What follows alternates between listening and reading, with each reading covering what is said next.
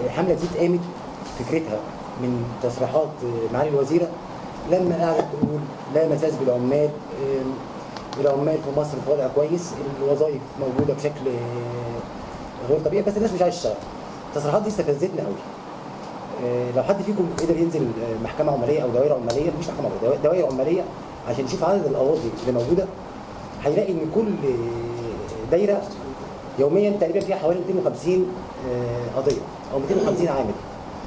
القاضي من كتر القواضي بي- بيدي بالظبط حوالي ثلاث ساعات لل 250 قضية وكلهم بياخد تأجيلات عشان حضرتك تاخد حقك بعد ثلاث أربع سنين يكون العامل ده انهار.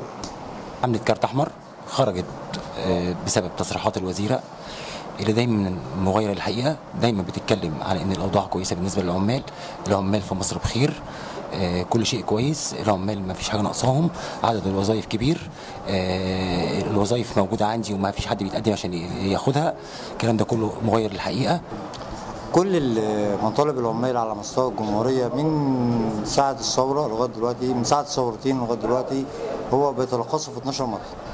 أول مطلب طبعا إصدار قرار من رئيس الجمهورية بعودة جميع العمال المفصولين تعسفيا.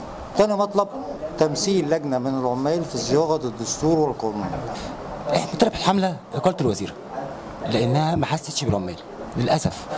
معالي الوزيرة بتدافع عن رجال الأعمال دفاع مستميت العمال آخر حاجة بتفكر فيها معالي الوزيرة.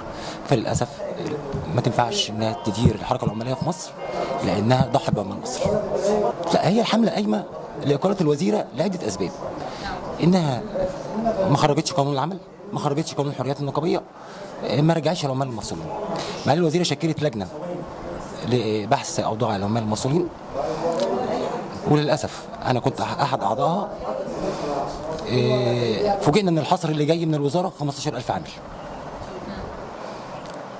أنا بقول لك إن عدد العمال المصريين في مصر أكبر من كده بكتير. إحنا عدد العمال عندنا يتعدى يتعدى ال 80000 عامل مفصول.